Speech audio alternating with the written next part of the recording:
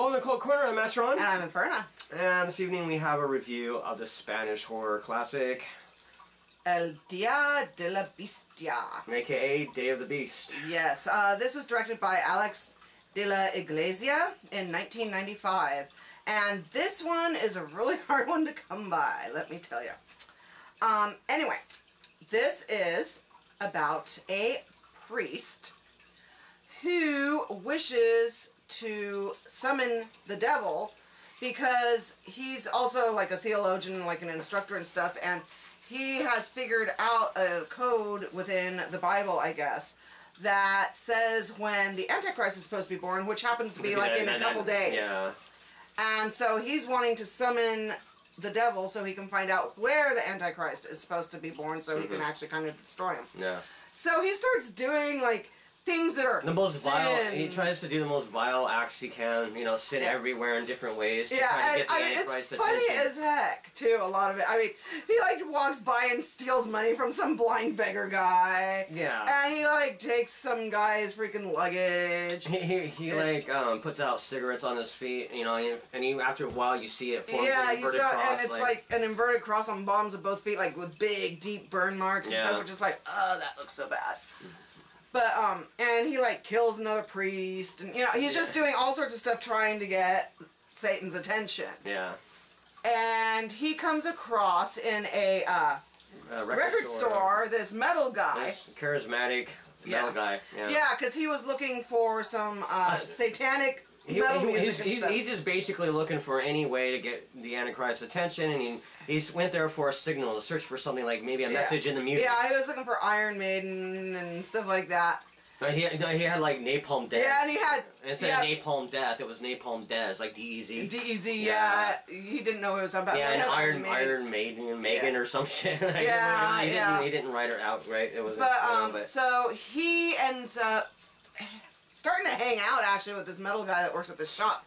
Yeah, and and the thing is, um, he he's showing these records and stuff, and you see some cool metal um uh, Yeah. vinyl there, and um, he's like um, want him to play um this uh, LP, and, and he's like, play it backwards. He's like, and- play it backwards. I'm looking for a message. And he's like, well, okay, I can, but it sounds just the same, only slower. Yeah, so so um, he's like, um, um, are you a Satan follower? And he's Yeah. like, yeah, of course. you know, like yeah, Yeah. like, of course we are. and then he like Uh, shows the metal guy shows him this Sat- uh, this Satanica. yeah, this Yeah. cassette of And he says it's the real deal. This is like the most satanic band. the Yeah, and he's like, and these guys are playing in you know hell, which Yeah. is this club, you know, like in a couple days. yeah, and should go check it out and stuff. And yeah, here's and hey, take the tapes on me. And uh, Yeah. also, uh, you know, uh, he had a place, uh, you know, that he could stay. He had a place that, uh, you know, room and board for him. Yeah, and so he stays there, you know. And it's run by his mom and and, And his uh, grandpa walks around like naked with his robe all open Yeah, all so you the see time. his Willie all the time. You the do, you do. And the son, the metal guy, is uh,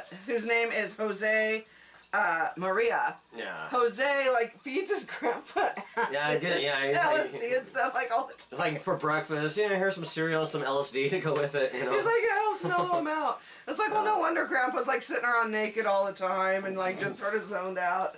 Uh, But um, so they start chumming around and they go to try to find this uh, Um, this guy who's there's a cultist that's on TV and stuff, you know, who talks to the dead and does this, that, and the other, and helps like he- he's kind of this like, exorcise demons from kids. Yeah. Um, named uh, Cavan. Yeah, he's this like late night guru guy, and he tries to like um, help people, like give these exorcisms and all these kind of kind of stupid shit. Yeah, you and know. so they want to go and talk to him because they think maybe he knows how to summon in a way, and in stuff. a way, he's like kind of an evangelist in a sense. Yeah. You know, just the way he does it. Not Yeah. to say a Christian, but yeah, you know, but just- yeah, I mean, he's just like pushing it and stuff. Yeah. He's like really popular and really famous, and they get him, and well, they actually go to his house and sort of kidnap him and make him listen to him, and they have him tied up and stuff, and so um, he starts instructing them on how to you know do a summoning and everything, and so the one guy's like carving, you know, a circle and pentagram and stuff into the Yeah. into the floor, the wooden And they, floor. they need to get like And they, they need mess virgin- and they yeah they need Well, virgin blood. Yeah, they so- need virgin blood. So the priest goes to um, back to the metal guy Jose's house because there's a worker chick there, and Yeah, he thought, well, a- maybe she might work, and she, might actually is a virgin. Yeah, she's a virgin. so, and yeah. he like takes money from her with a syringe, you know, for the um, Yeah. ritual and stuff, and he show, comes back and they perform the ritual, but they kind of mess it up a little bit, but it works at the same time. Yeah, and that convinces um, the uh, occultists that well maybe there's something going on with this, and because they actually see a go that transmorphs into this demon, um, you know, yeah, type figure. he like and- stands up and everything, and and, and then eventually leaves. Yeah. So um, yeah, and uh, they think they're on the right track, and so their kind of quest to find the Antichrist kind of ramps up, and yeah, uh, Mm-hmm. Yeah. they go from there, and it's um, it leads to a kind of a showdown, and the only one of the negatives about the movie is kind of how they kill the Antichrist because you think you have to do more than that. know, Yeah, but- yeah, yeah. You'd think so. Yeah, but uh, it's an It awesome. was- it's a, it's a really awesome film. Yeah, it's a really, really good film. And like I said, this is very rare and hard to find. So Yeah, you can. I think there's like last time I checked, there's like maybe three copies on eBay, and there. I mean, there's one on um, I think Amazon or something. But this is way out of print, and it's getting more rare. And, and you owe yourself to get this movie. A lot of people have never ever even heard of this film or seen this or anything, and it's one of the best horror movies ever made that nobody knows about. ever. yeah, this is actually really good. and it's it's, it's really- it's, it a, it's a horror comedy basically Yeah, in a yeah. sense, you know. But it's it's when when the horror comes, it's really good, and and the comedy elements too are pretty good too. Yeah, yeah. So, a great soundtrack on here as well. Mm-hmm. Um, uh, yeah, acting's really good. Um, uh, the priest is uh, is the priest He's is awesome, and yeah. the metal guy is just yeah, he- hilariously awesome. Yeah, you know, he, he, he- he's probably not the type of metal guy you're going to have a, a major conversation with. Yeah. You know, I mean, his, Well, his he's kind of- always on acid, moment- too.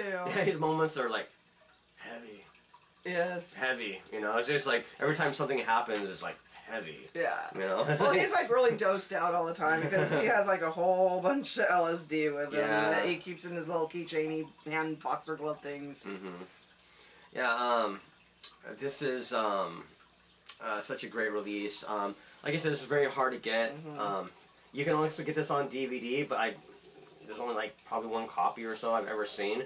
Um, so like if you want to get this, get it now because It's going fast. yeah, and it's never had a proper DVD Blu-ray release in North America, and that's unfortunate. Yes, this is actually a version. so many people uh, need to see this. It's just really a fucking awesome movie. I mean, uh, it's got some great features on here, kind of behind the scenes features, uh, the making of the movie. Well, and this um, one still is actually not an American. No, this is this is uh, region three or two, something like Yeah. that. It's it's a it's the uh, Spanish release. So, Mm-hmm. like I said, you you have to have a all region Blu-ray player to watch it. You know, so if you do, Get you, it you just got to get it. Yeah, I mean, what are you waiting it. for? because it's it's awesome. It's a Yeah. good movie. Just uh, there's some there's a trailer, two trailers in here. I think there's a TV spot on here. Um, yeah, um, and just some behind the scenes stuff where Mm-hmm. they're discussing um, the movie and the actors are you know talking about their Mm-hmm. experiences and stuff. It's not in English though, but you know you can see what Yeah. the kind of know you see what's going on, so you get the idea. Um, so yeah, this is awesome, and I hope someday someone will pick up the rights to this and it'll get a really um, good release in the in the U.S. Mm-hmm. You know, because it really needs to. It's it's a really it's a really uh, really great film. So It yeah, is. Yeah. I like it a lot. So, So, what do you give it? get nine and a half out of ten. Nine and a half. No. I am gonna agree with you. I really, really like this one a lot. This one was really good. Man, this is a movie you can watch a lot. There's a lot of replay value in this. I Mm-hmm. Yeah. mean, you can just pop this on any time and kick back and watch it. And yeah, it's just really good. Um, I like the menu even when it starts out. Yeah, the menu's actually even freaking cool. We see a Baphomet coming in and see some of the actors and um, Yeah. Mm-hmm. kind of the artwork of um, the film. So it's really cool. Um, yeah, go pick this up. Day of the Beast. yes. Get this while you can, because I don't know when the hell they're going to ever El Dia de la make a uh, uh, U.S. release, do a North American release for this, because you know. Yeah, I mean they may or may not. You Yeah. never know. It would be cool if they did that. and if you don't have an all region a Blu-ray player, you should just buy one just to see this. they do have like a VHS available, but I, I have not seen it, um, so I don't know if it's dubbed. If it's dubbed, it's probably going to suck. Um, uh, and yeah, and the quality is going to be way shitty. So I mean, this is, looks looks beautiful. I, I had a I had a uh, bootleg for years, um, and uh, I'm so glad I have this. Yeah, yeah. I mean, you first start watching it, you're like, oh my gosh, this blows the bootleg away. Yeah, yeah. It's. Like it's so. I mean, if it was a DVD, it would still blow it away. Yeah. Because, but uh, yeah, this is the best it's ever looked, and it looks just fucking amazing. So, go give this, go go buy this if you can. Mhm. You're, Yeah, gonna, you're gonna thank me if you do. as long as you can play it. Yeah, that's true. Yeah. So, until next time. Until next time, We'll see you later. hell horror. Hail horror. Padre, quiero confesarme. Dime lo que has hecho, hijo. Nada, padre. No he pecado, pero voy a pecar. Voy a hacer todo el mal que pueda.